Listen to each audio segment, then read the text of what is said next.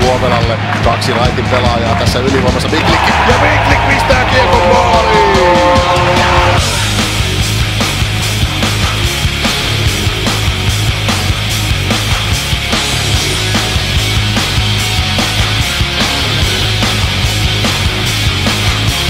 Painava laukaisu valmiina. Miklik vermistelyllä karvaa!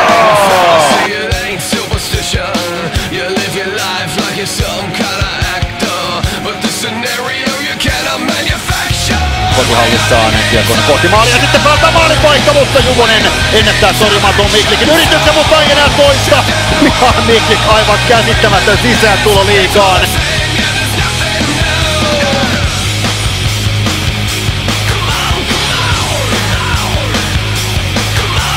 Aikaa ollaan pelattu usean minuutti jo kamppailussa, kun Miklik tyrmää Revon. Maali hänestä kiinni.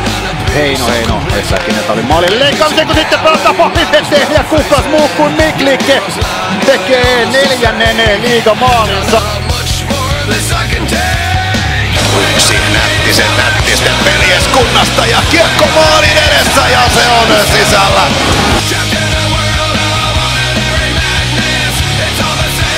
30. Löfman ja siitä tulee miten Miklik ja loukkaantumisen jälkeen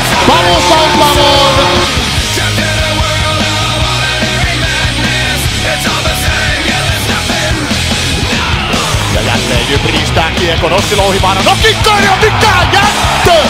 Ossilo Ohivaara namuttelee!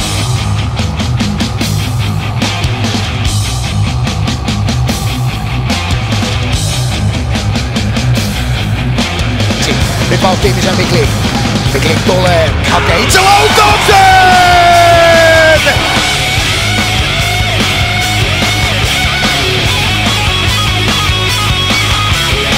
Ylivoima vielä kasaan. Lehmanin kautta kiekko liikkuu nopeasti toiselle puolelle. Ja Michel Miklik avaa hanat Hämeenlinnassa ylivoimalla.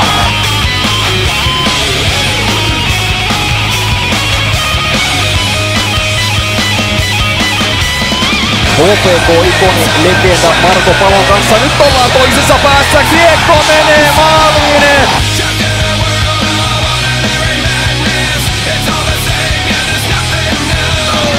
Miklik pääsee jatkamaan ja pelaamaan! Michel Miklik maalin takaa.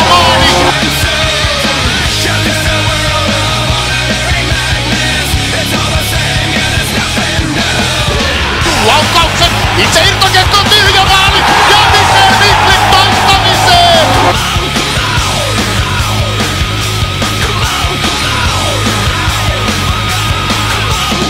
Summittainen kääntö villivaikeuksissa ja Miklik